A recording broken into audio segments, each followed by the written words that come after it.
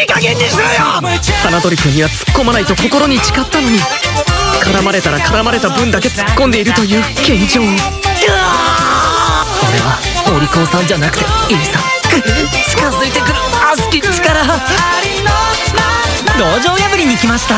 デッドエンドだよセリ君。セリ君が靴を舐めに来たと聞いて。暗黑破坏神在身边，锁定 Gem。